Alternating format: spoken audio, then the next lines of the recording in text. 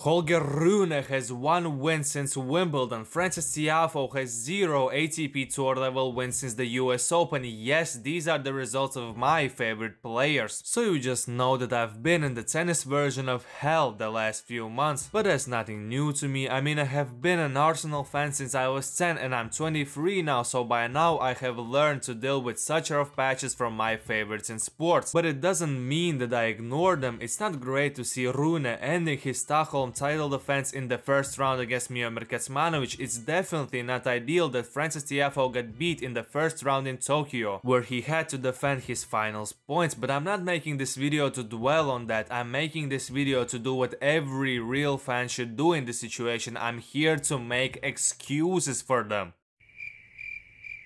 Well, actually, I'm here to deflect because they are not the only players who have been subpar recently. Players like Taylor Fritz and Casper Ruud are kinda fumbling their chances at going to the ATP finals, where they could potentially lose a significant chunk of points if they don't make it there. Top 20 player Cam Norrie has won 4 out of his last 15 matches. Stefanos Tsitsipas hasn't played a good tennis match since who knows when. So I'm just letting you know that this drop in form is not exclusive to my favorites and this is where I come in with a valid excuse for such turn of events, which is that the end of the season always produces odd results because some of the top players are not able to deal with the physical and in my opinion most importantly mental fatigue that sets in after the last Grand Slam of the season. Are we going to pretend like anyone expected Felix Auger-Aliassime to become the greatest tennis player that the world has ever seen at the end of the last season? I don't think so. Even Rune's win in Paris was a surprising one and we don't even have to go far back into the past to find a shocking Paris Masters champion like Jack Sock or Karen Khachanov, so you just know that the last stretch of the season is tailor-made for unexpected results because there is no denying that some of the players just mentally check out and they wait for the break and the next season, which is not something that they should be proud of, but at the same time it means that if you were a betting man that I would suggest for you to predict the unpredictable in such circumstances. And I'm not saying this to diminish all the great late season runs from players. Actually, I think it's more difficult to play great tennis at the end of the season rather than the start of the season, for example, but I do think that these late season declines or instances of overperforming are not that significant in terms of the overall trajectory of the player's career. How are your favorites doing right now? Share that in the comment section down below, like the video, subscribe to the channel, and until next time,